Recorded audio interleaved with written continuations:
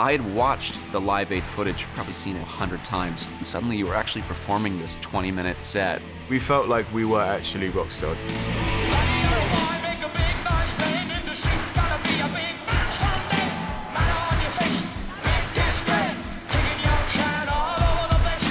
It definitely brought us together, and you realise the momentum of the day and of that 20 minute set.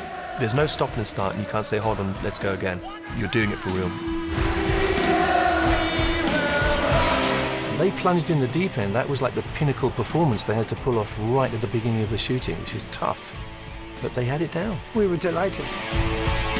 It's the most remarkable feeling you could have because you've studied every move and ultimately doing the performance at Live Aid, we pulled it off. Thank you for coming along and making this a great occasion.